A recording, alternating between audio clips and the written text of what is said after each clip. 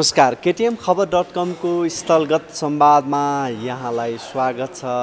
म श्याम कार्की र स्थलगत संवादलाई जोड्नको लागि यति बेला म नक्सालमा रहेको स्टार भेन्यूको हलमा रहेको छु र जहाँ आज लायन्स क्लब इन्टरनेसनल अन्तर्गत रहेर डिस्ट्रिक्ट गभर्नर एडभाइजर मिटिङ कार्यक्रम सम्पन्न भइसकेको छ र सोही विषयमा केन्द्रित रहेर कुराकानी गर्नको लागि यति बेला मेरो साथमा हुनुहुन्छ डिस्ट्रिक्ट गभर्नर अनन्त प्रसाद भेटवाल। अब क्रममा उहाँसँग कुराकानी गर्छु। सर यहाँलाई स्वागत छ। धन्यवाद। कार्यक्रम सम्पन्न भइसकेको छ कस्तो महसुस गर्दै हुनुहुन्छ सर यहाँ? यो चाहिँ हामीहरूको रुटिन कार्यक्रम हो इन्टरनेसनलले तोके अनुसारको। अ, यसको कार्यक्रम गर्ने फ्रेम पनि निर्धारित छ र त्यही निर्धारित फ्रेम अनुसार आज बडो राम्रो वातावरण चाहिँ कार्यक्रम सकियोमा। हामी निकै खुसी छौँ हर्षित छौँ। अब आज कार्यक्रम चाहिँ किन र केका लागि? लायन्स क्लब इन्टरनेसनलले विश्वभरि नै विश्वका दुई सय दस राष्ट्रमा हामी फैलेका छौँ। त्यसमध्ये हाम्रो राष्ट्र नेपाललाई नम्बरले चिनिन्छ। मल्टिपल डिस्ट्रिक्ट तिन सय पच्चिस भन्छौँ। र त्यो तिन सय पच्चिसमा पनि चारवटा डिस्ट्रिक्टमा पुरा नेपाल छुट्टिएको छ। डिस्ट्रिक्ट तिन सय पच्चिस A one A two B one B two. त्यसमध्ये हामी डिस्ट्रिक्ट तिन सय पच्चिस ए वान। र हामीसँग उन्चालिसजना जोन चेयरपर्सनहरू हुनुहुन्छ हाम्रो क्षेत्रमा डिस्ट्रिक्टमा। र ती जोन चेयरपर्सनहरू त्यो वर्ष लाइन्सटिक इयर चाहिँ जुलाई फर्स्टदेखि जुन तिससम्म हुन्छ त्यो वर्षका सम्पूर्ण सर्भिसका कार्यक्रमहरू लिडरसिपका कार्यक्रमहरू फेलोसिपका कार्यक्रमहरू मार्केटिङका कार्यक्रमहरू त्यो सफल बनाउनलाई जोन चेयरपर्सन चाहिँ सबभन्दा प्रमुख भूमिकामा रहनुहुन्छ। र ती जोन चेयरपर्सनहरूले आफ्नो कार्यक्रम कसरी अगाडि बढाउने भनेर उहाँका अन्तर्गतका क्लबहरूसँग वर्षभरिमा चारवटा चाहिँ नि district governors advisory committee meeting गर्नुपर्छ। र यो पहिलो district governors advisory committee meeting यो पहिलो मिटिङ चाहिँ नि प्लानिङ मिटिङ। अब यो वर्षभरि हामी कस्ता कार्यक्रमहरू गर्छौँ कसरी लिडरसिप डेभलपमेन्ट गर्छौँ कसरी कस्ता फेलोसिपका कार्यक्रमहरू गर्छौँ र स्पेसल्ली हाम्रो मोटो वी सर्भ भएको हुनाले हामीहरूको निड कम्युनिटीलाई निड निड बेस हेरेर निडी पिपलहरूलाई चाहिँ नि कसरी सर्भिस पुर्याउने त्यसको प्लानिङ चाहिँ यसमा गरिन्छ। अब कार्यक्रमको समयावधि कति थियो? कार्यक्रम सम्पन्न भइसकेको छ समयावधि कति रह्यो? Normally district governors advisory committee meeting दुईदेखि तिन घन्टाको हुन्छ। It is totally business meeting यसमा क्लबमा भएका समस्याहरू क्लबले हासिल गरेका सफलताहरू सम्पूर्ण खुरा रूपमा डिस्कस हुन्छन्। र जोन चेयरपर्सन भनेकै जुन हाम्रो दिपकजी हुनुहुन्छ उहाँहरू चाहिँ नि क्लब र डिस्ट्रिक्टको बिचको ब्रिज पुलको काम। क्लबका समस्या क्लबका सफलता क्लबका आवश्यकता त्यो क्लबका एचिभमेन्टहरू त्यो सबै डिस्ट्रिक्टसम्म पुर्याएर इन्टरनेसनलमा पनि रिपोर्टिङ गर्ने काम चाहिँ जोन चेयरपर्सनको हुन्छ। आज कार्यक्रमलाई केन्द्रित गरेर कसलाई निम्ता गर्नुभयो को को आउनुभयो? जस्तै हामीहरूको लायन्स क्लब इन्टरनेसनलमा जम्मा तिनवटा पद इलेक्टेड पद हुन्छ। Governor first vice district governor र सेकेन्ड भाइस डिस्ट्रिक्ट गभर्नर।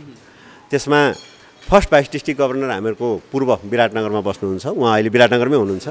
र म डिस्ट्रिक्ट गभर्नर र सेकेन्ड भाइस डिस्ट्रिक्ट गभर्नर हाम्रो टङ्कबहादुर श्रेष्ठ उहाँको पनि उपस्थिति थियो।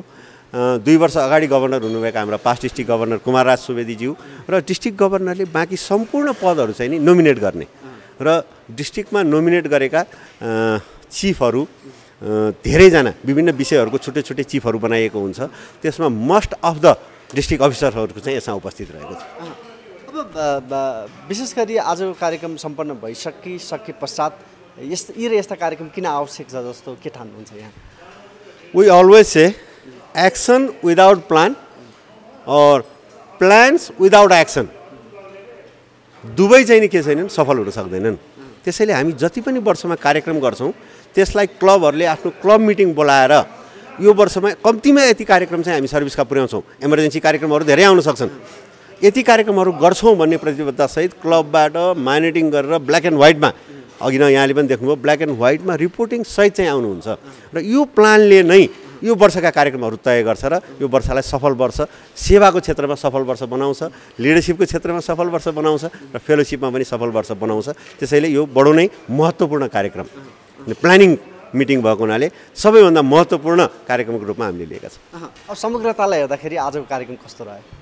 आजको कार्यक्रम Lions club इन्टरनेसनलले district governors first advisory committee meeting जसरी पुरा गर्नुपर्ने भयो त्यसमा सयमा सय सम्पूर्ण क्लबको उपस्थित डिस्ट्रिक्टका अफिसरहरूको उपस्थित र म्यानुअलले दिएको हरेक कुरा पोइन्ट वाइज जोन चेयरपर्सनले व्याख्या गरेर र हामीहरूको जिरो आवरमा उठ्नुपर्ने क्वेसनहरू सहित चाहिँ नि यो कार्यक्रम हन्ड्रेड पर्सेन्ट सफल भएको हामीले अनुभूति गरेका छौँ। अब के जना के छ? यहाँहरूले के के गर्दै हुनुहुन्छ?